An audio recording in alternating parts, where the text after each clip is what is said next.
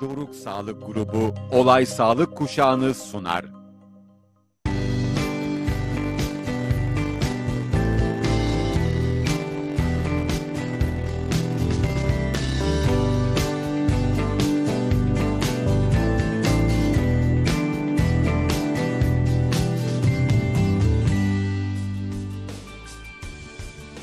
Olay Sağlık programından herkese mutlu günler, mutlu haftalar. 26 Mart Salı günündeyiz. Evet, Olay Sağlık programında yine sizlerle birlikteyiz. Bugün stüdyomuzda çok değerli bir konuğumuzu ağırlayacağız. Olay Sağlık programında her zaman olduğu gibi.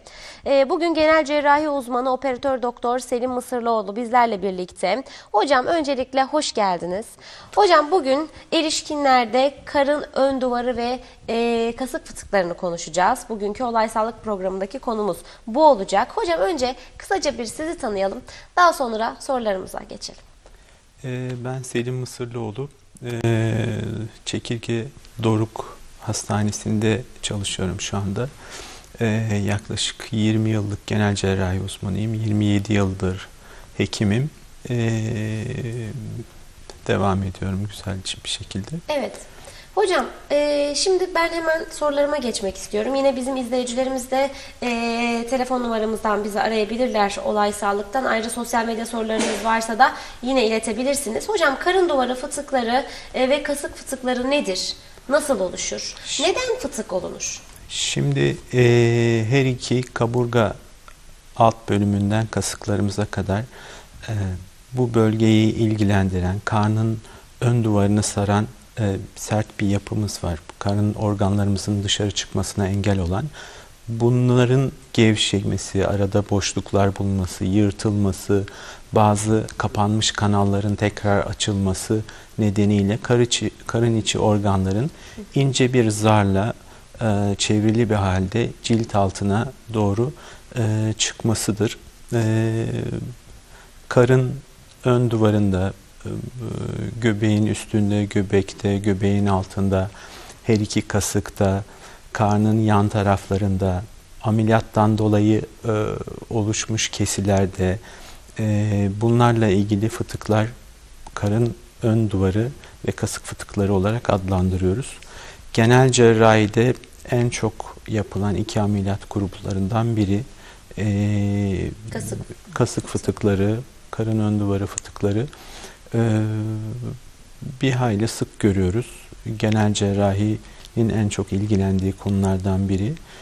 İhtisası bitirdiğimiz dönemden beri e, bir miktar e, tedavi yöntemleri değişmeye başladı. Biraz daha e, farklılaştı. İlk dönemlerde dikişlerle onarım yaparken yamalar çıktı. Yamalardan sonra kapalı ameliyatlardan çıktı. Kapalı ameliyatlar, robotik cerrahi, kapalı laparoskopik cerrahiler çıktı. Biraz e, evrimleşti, biraz değişti ama bir hayli sık görmekteyiz.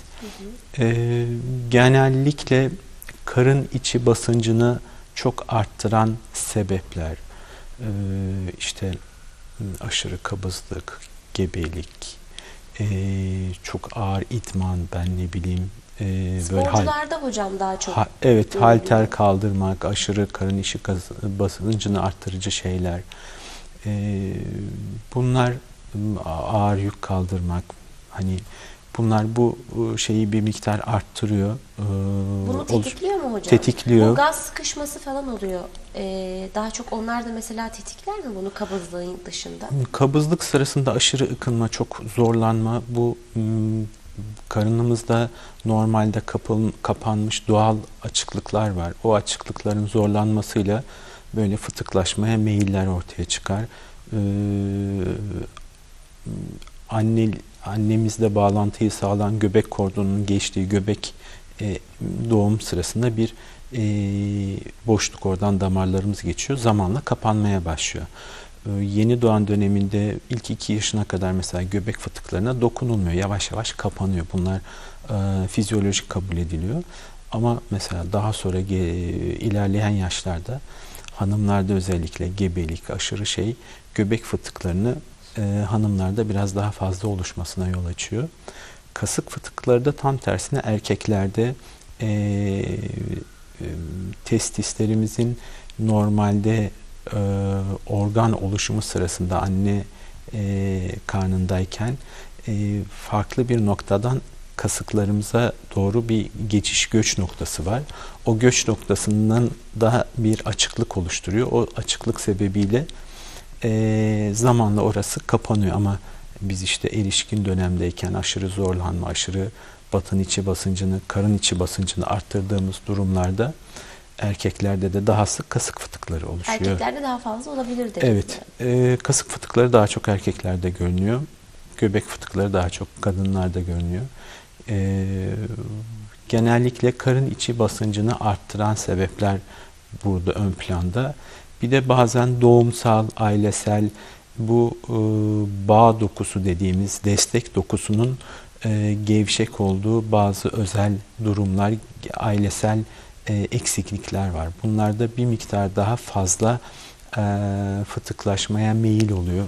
Hmm, İşte annesinde oluyor, kardeşinde oluyor, kendisinde oluyor. Bir e, doku defekti demeyelim de hani yapısal bir eksiklik nedeniyle onlarda daha sık e, fıtıklaşma olabiliyor. E, en önemli şey e, karın içi basıncının fazla olması ve bağ dokusu yapısının bazılarında gevşek olması.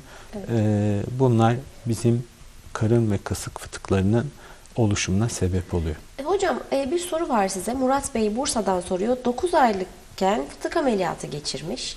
E, ileride tekrarlar mı? E, bir risk oluşturur mu diyor kendileri. E, yeni Nelere doğan dikkat etmesi gerekiyor? yeni doğan dönemindeyken yani ilk e, doğumsal kasık fıtıklarından sonra normal fıtıklarda çok çok az bir artma ihtimali var. Hani öyle ciddi anlamda kendisini normal fıtık hastaları gibi korumasını e, arttırmasını gerektirecek bir durum yok.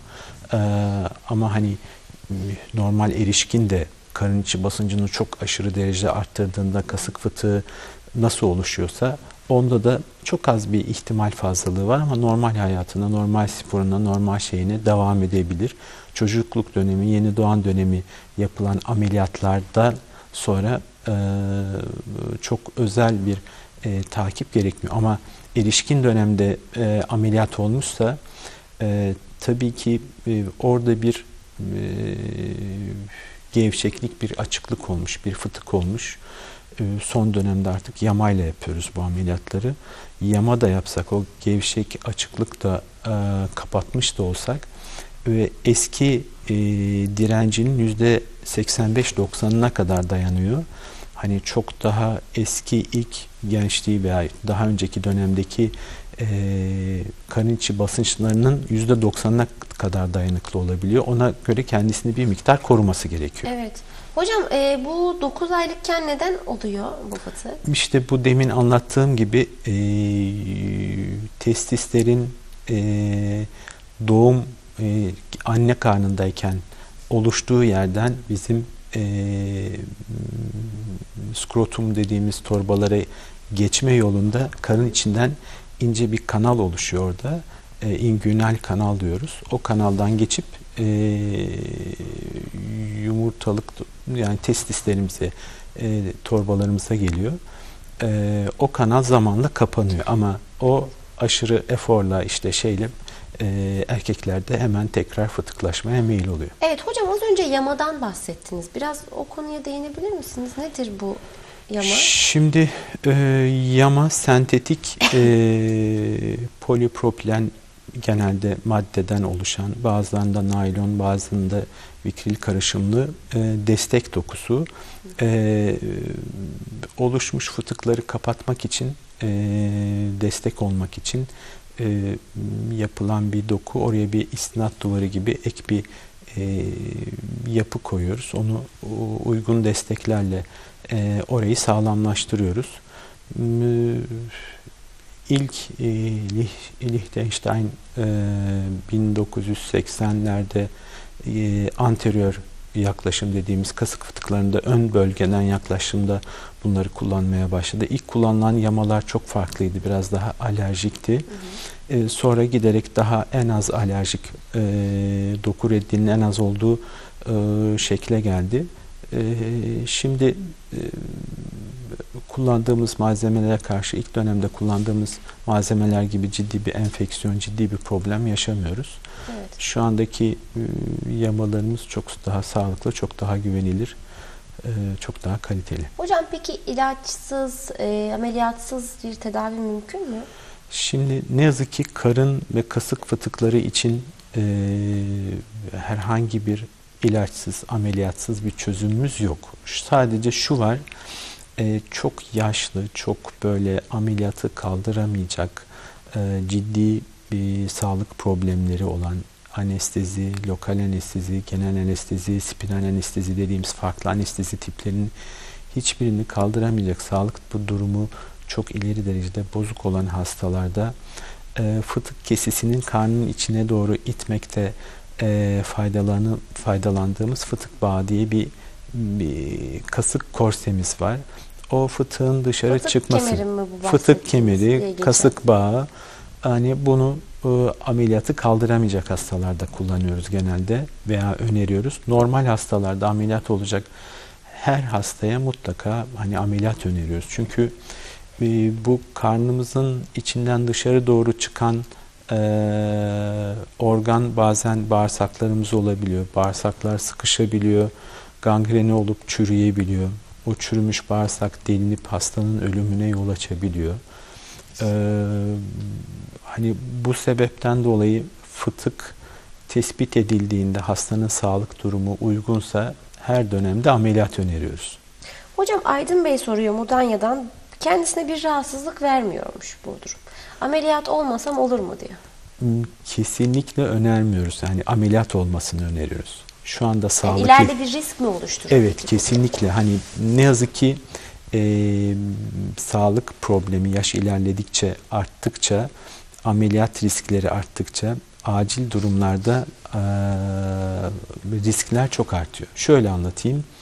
E, normal bir hasta, sağlıklı bir hasta, sağ, kasık fıtığı ameliyatı sonrası bir risk oluşması, ameliyata, ameliyat e, anesteziye bağlı bir risk oluşması 10 binde 3 civarında veya binde 1 arasında değil.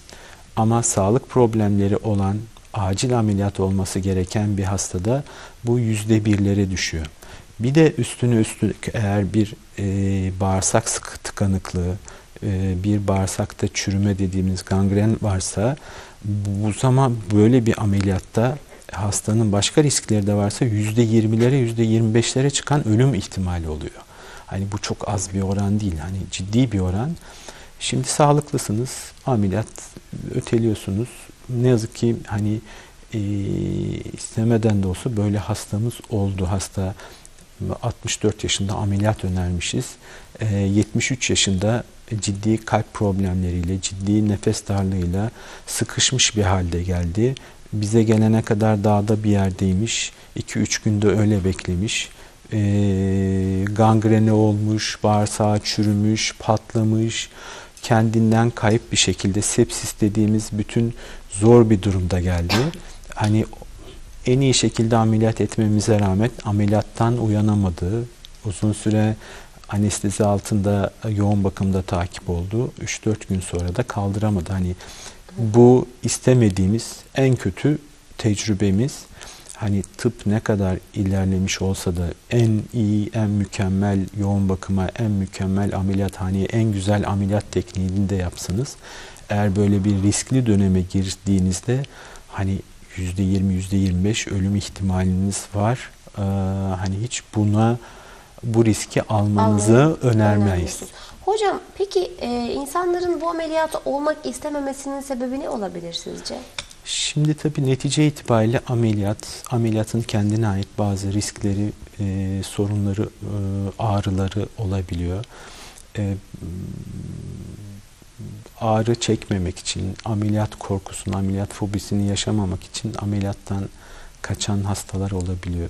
Eskiden kullandığımız e, ameliyat metodunda biraz ağrılıydı ilk asistanlığımız döneminde e, dikişlerle fıtık kesesini kapatıyorduk.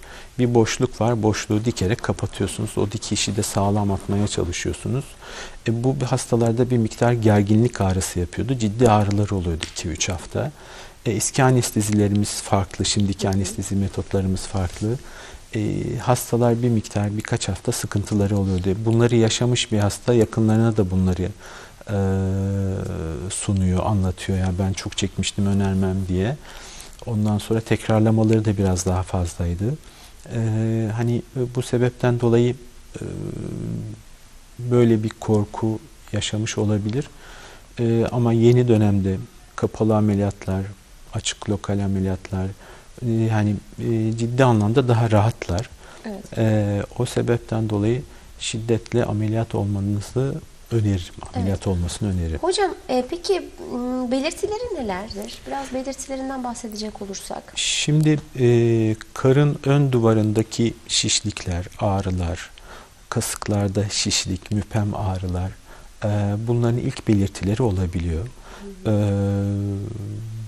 hafif zayıf, belirgin bir fıtığı olan da işte karnın öc- ö- ön cildinde daha önce belli olmayan bir şişlik, bir ceviz büyüklüğünde, bir mandalina büyüklüğünde bir şişlik.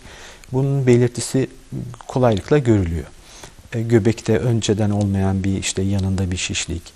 Kasıklarda bazen ağrı ile başlayabiliyor. E, belirgin dışarıdan bir fıtık şiş- e, şişlik olmayabiliyor.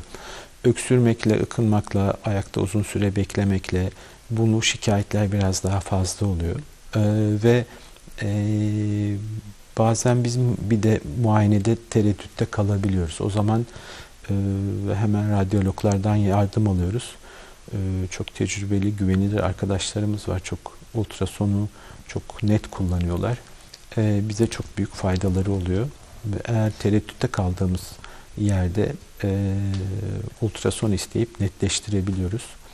Karın ön duvarında daha yukarıda, daha derinde olan e, fıtık şüphelerinde tereddütte kaldıklarımızda MR veya tomografi ek tahlil isteyebiliyoruz. E, hani fıtık belirtileri genellikle ağrı ve şişlikle geliyor. Evet hocam peki tedavi yöntemleri nelerdir? Şimdi e, fıtıklar, karın ön duvarındaki fıtıklar ameliyat kesisine olan, bağlı olarak olanlar var.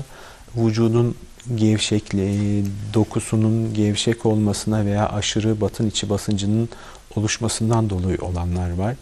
Epigastrik dediğimiz göbeğin üst tarafında, göbek dediğimiz göbek fıtığı veya daha e, lateral, daha karnın yan tarafındaki fıtıklar olabiliyor. Bunların e, tedavisinde e, fıtık kesesini e, karnın içine gönderip ondan sonra uygun bir yamayla o mevcut e, boşluğu kapatma ameliyatları yapılıyor. Bunların ameliyatları son e, 4-5 yıldır biraz daha farklılık gösterdi.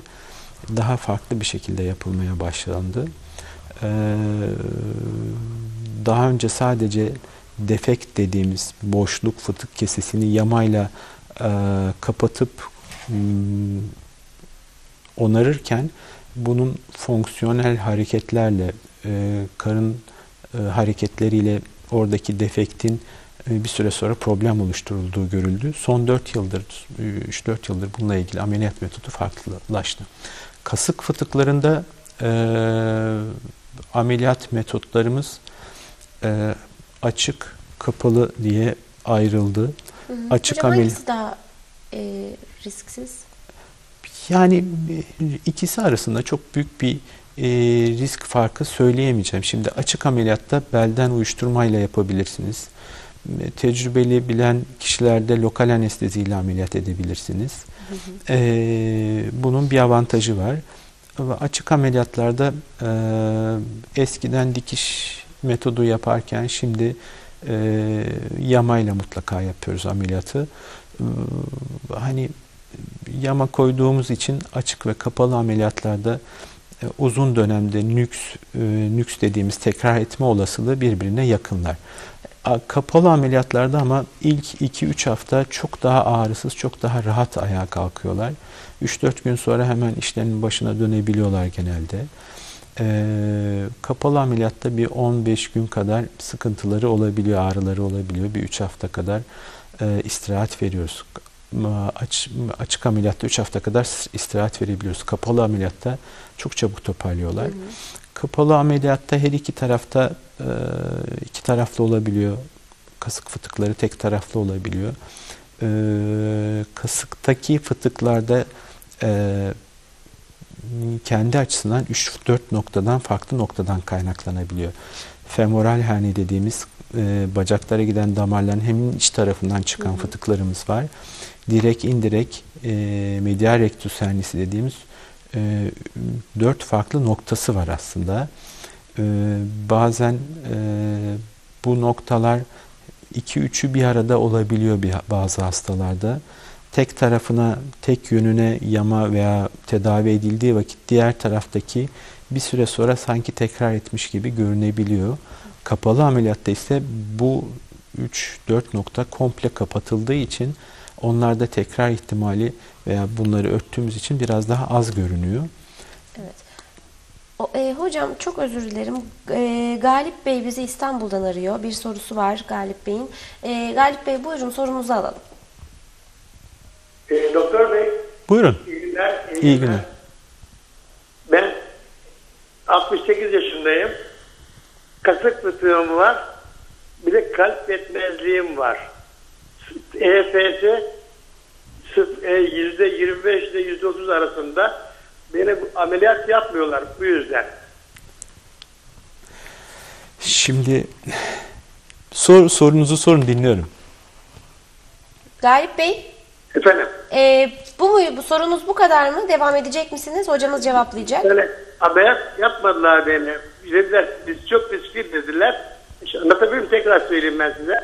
Sağ tarafta kar, e, kasık fıtığı var. Evet. Benim kalp hastasıyım. Yani kalp yetmezliği var. EFS yüzde 25-30 arası. Evet. Çok riskli dediler. Eğer mesela kalabilirsin dediler. Ameliyatı yapmak istemediler. Yani bana bıraktılar son sözü. Evet Ben hocam. sizin görüşünüzü almak istiyorum. Teşekkür ederiz Galip Bey. Evet hocam. Şimdi Galip Bey Son ben söz Galip Bey'deymiş. estağfurullah. Şimdi e, Galip Bey ben kendi başımdan geçen hadiseyi anlatayım. Tam sizin için tam uygun bu hadise. E, 1900 2000 yıllarında 2001'de e, kendi öz dedemde de fıtık vardı. O zaman İstanbul'da bir hastanedeydim. Yatırdım, tahlillerini yaptım. Dedemin de e, kalp ejeksiyon fraksiyonu dediğimiz kalp e, şeyi yüzde yirmilerdeydi. Siz yüzde yirmi beş, yüzde otuz daha iyiymiş. Kardiyolog arkadaşla, anestezi uzmanı arkadaşla görüştük. Ameliyat belden de uyuşturulursa, genel de alsa e, yüksek riskli olduğunu bu şekilde idare etmemizin daha faydalı olacağını söylediler. E, ben de rahmetli dedeme dedim ki ya dede hani bununla yaşayabilirsin ama bu hani senin için bir risk oluşturmuyor. Fıtık bağı demin bahsettiğin bununla idare etmeye çalışalım. O zaman e, rahmetli dedem herhalde 76 yaşında falandı. Ondan sonra biz taburcu ettik dedemi. Dedem e, Gürcü inadı diyeyim şeyi veya memlekette Artvin'de e, oradaki cerrahımı kandırmış, oğlumu kandırmış öyle e, orada olmuş. Ama olduktan sonra hani e, yatalak kaldı diyeyim. Hani şimdi e, anestezi e, ve e, bu ameliyat siz uyusanız da hiçbir şey hissetmenirseniz de arkanızdan bir affedersiniz ayı kovalamış gibi kalbinizde çarpıntı oluyor. Bütün, bütün vücudunuzda adrenerjik sistem dediğimiz bununla ilgili hormonlar salgılanıyor. Kalbiniz olan şeyi yükleniyorsunuz iyice. Anestezinin Evet. de vermiş olduğu. Anestezi o kadar değil de hani bizim kesinin gibi anestezinin şeyi değil. Olan e, kalp yetmezliği daha da derinleşiyor. E, şimdi e, beş vakit namazını camiye giden, eşini dostunu her yeri dolaşan, böyle her yerinde durmayan dedem e, buradan yandaki odaya tuvaletini bile yapamayacak duruma geldi. Vefat ameliyat sonrasında mı oldu? ameliyat sonrasında. Riskli Ameliyattan demelerine rağmen. Evet hani dedeme bunu söylememe rağmen söylememize rağmen o Artvin'de oldu ameliyatını. Ben has, yaşlı hastalarıma, riskli hastalarıma bunu aynen anlatıyorum. Ee, hani fıtık sizin yaşam kalitenizi çok bozuyorsa bu risk alınabilir. Ama şimdi bir odadan bir odaya tuvalete bile gidemediğiniz, her dakika ördeğe e, muhtaç olduğunuz, sondaya muhtaç olduğunuz bir döneme giriyorsunuz bu sefer. Kalbiniz hepten bitiyor hani. E, dedemi her gördüğümde ağlardı. Yani ölene kadar keşke sözünü dinleseydim de ameliyat olmasaydım. Hani böyle bir risk var. E, siz daha kalbiniz daha iyi ama sıfır değil. Hani e, %25-30 iyi bir rakam. Lokal anesteziyle e, uygun şeyle yapılabilir. E, spinalle olabilir. Ama böyle bir riskinizin de olduğunu mutlaka bilin Galip Bey. Hani ben size mutlaka ameliyat olun diyemem. Ama size hekim arkadaş, cerrah arkadaşlar da uygun bir şekilde anlatmış. Evet. Ejeksiyon fraksiyonu dediğimiz kalp yetmezliği durumunuz bizim için e, yüksek riskte. Hı hı.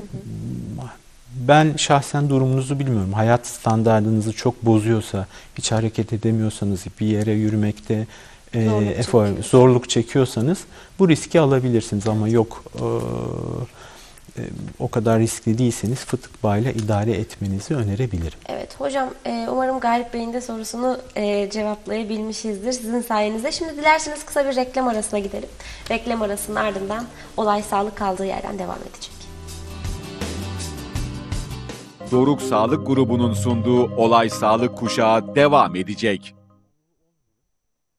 Doruk Sağlık Grubu'nun sunduğu Olay Sağlık Kuşağı devam ediyor.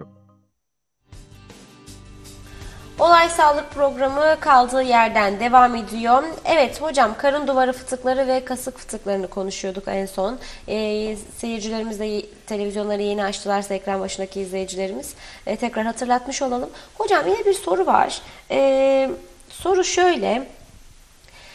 Ali Bey soruyor. 70 yaşındaymış kendisi. Damarlarında stent varmış. Aynı zamanda e, fıtık problemi de var.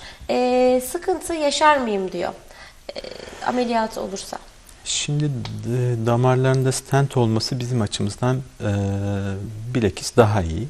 E, sağlıklı bir e, kalp e, kanlanması olduğunu gösteriyor stent uygulandıktan sonra.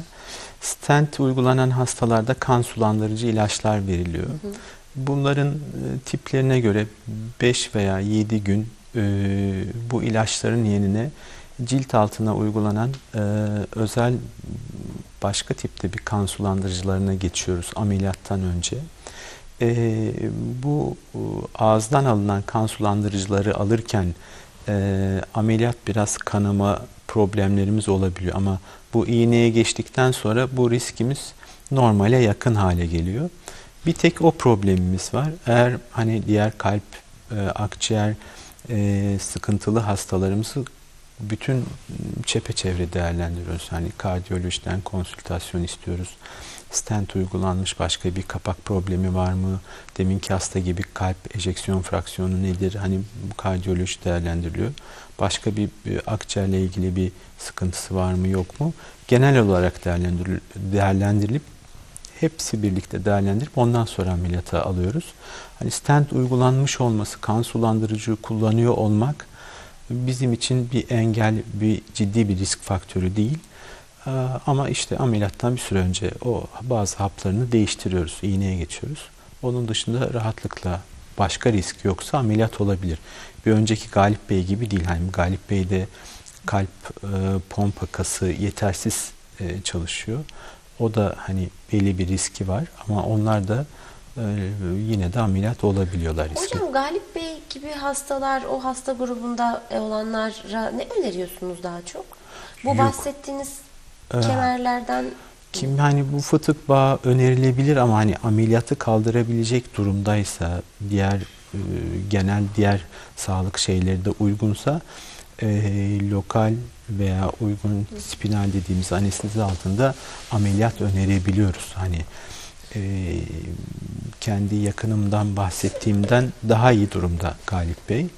Ama yine hani hekimle beraber değerlendirip karar verilecek. Evet hocam biraz ameliyatlardan bahsedelim. Bu ameliyat tipleri aralarındaki farklar nelerdir? Şimdi e, son 20 e, yıldır e, kapalı laparoskopik işte lazer denen ameliyat metodu bütün bizim ameliyat sahamıza girdi.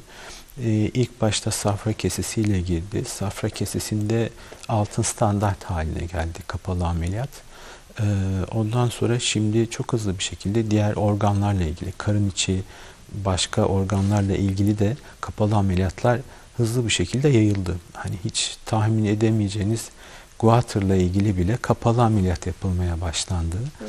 Hani bir fıtık hastalarında da kapalı ameliyatlar yapılıyor. Ee, kasık olsun, insizyonel herni dediğimiz eski yara ameliyat yarasına bağlı fıtıklarda olsun, göbek fıtıklarında olsun kapalı ameliyatlar yapılabiliyor. Kapalı veya açık yapılabiliyor. Ee, ama hani kapalı ameliyat bunda çok üstündür. Mutlaka kapalı önerilir diye bir şey yok. Kesiyeri fıtıklarının durumuna göre e, hangisi daha avantajlıysa onu hekim ve e, hasta değerlendirip karar veriyorlar. İki taraflı kasık fıtıklarında biraz daha avantajlı görünüyor kapalı ameliyat. Kapalı ameliyat dediğimiz e, göbeğin altında iki veya üç tane ufak delikten e, her iki kasığa e, ameliyat yapılabiliyor. Her iki kasık da e, 8 santimlik kesiler yerine 3 tane ufak delikten e, ameliyat yapabiliyoruz.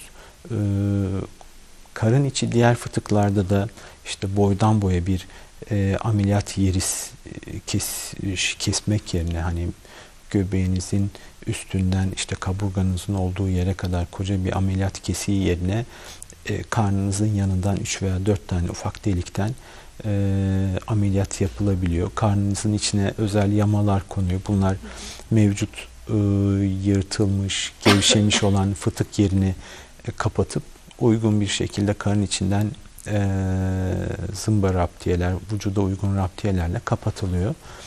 E, bu mutlaka bu avantajlıdır, inanılmaz rahattır. Sadece kapalı olun böyle bir şey yok. yok. Ee, ama kasık fıtıklarında e, özellikle ilk 15 gün inanılmaz derecede kapalı ameliyatlarda hastalar çok daha rahat ediyorlar. Ameliyattan çok kısa sürede işe dönüyorlar. Ee, çok daha az ağrı hissediyorlar hani. Kapalı ameliyat. Kapalı ameliyatta. Ama hani uzun dönem, geç dönemde Artık birinci aydan sonra e, aralarında çok ciddi bir fark kalmıyor. Evet. Hocam ameliyat sonrasında peki önerileriniz nelerdir? Bir de bu ameliyatı yaşadıktan sonra hasta kaç gün ıı, maksimum ortalama kaç gün hastanede yatıyor? Biz kasık fıtıkları için genelde bir gün tutuyoruz. Ee, hem açık olsun hem kapalı fıtık ameliyatlarında bir gün tutuluyor. Karın e, ameliyatlarında, karnın diğer bölgelerinin e, fıtık ameliyatlarında bir veya iki gün tutuluyor kapalı ameliyatlarda. Açık ameliyatlarda hastanın mevcut kesisine, bağırsaklarının çalışma durumuna göre iki gün, üç gün, dört gün bir problem çıkmazsa uzayabiliyor. E, açık ameliyatta biraz daha uzun yatma gereksinimi olabiliyor.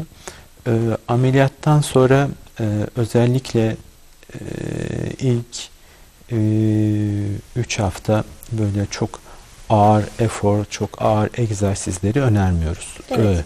Üç haftadan sonra hafif yürüyüşleri önerebiliyoruz.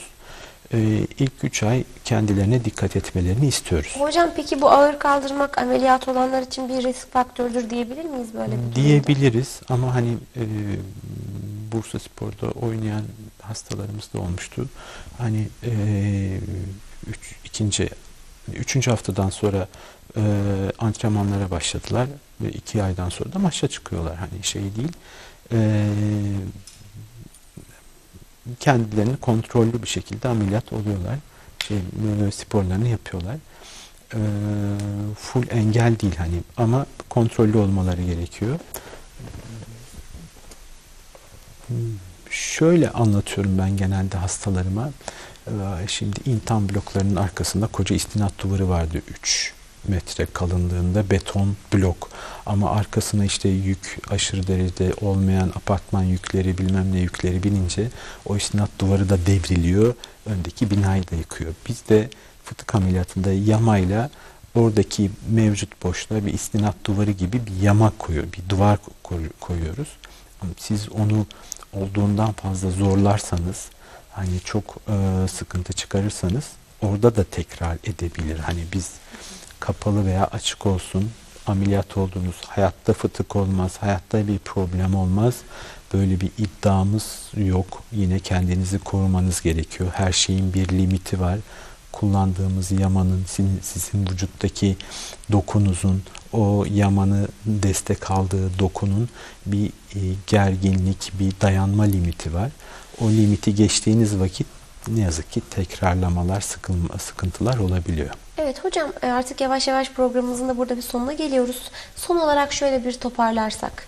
e, bu ameliyatı düşünenler için, e, kasık fıtıkları için son olarak ne söylemek istersiniz izleyicilerimize?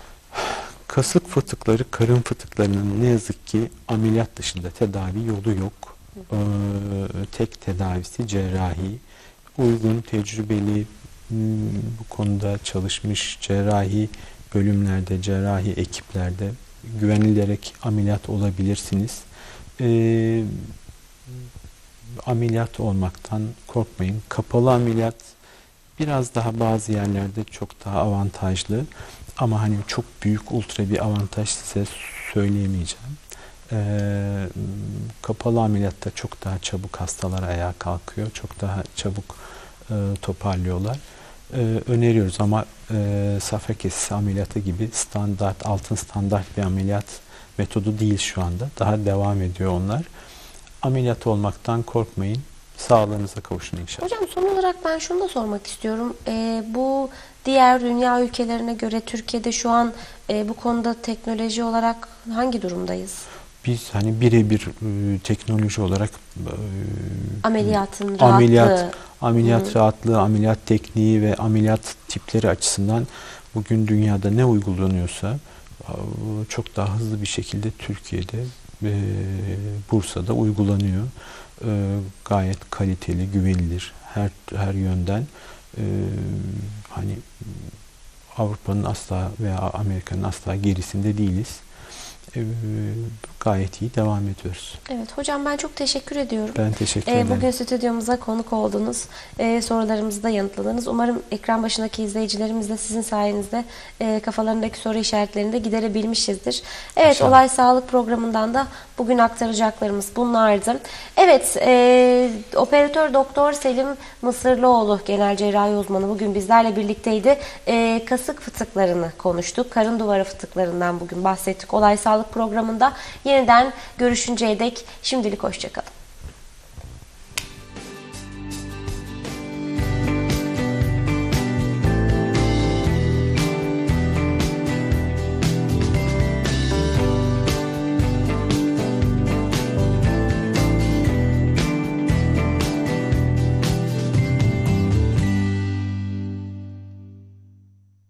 Doruk Sağlık Grubu Olay Sağlık Kuşağı'nı sundu.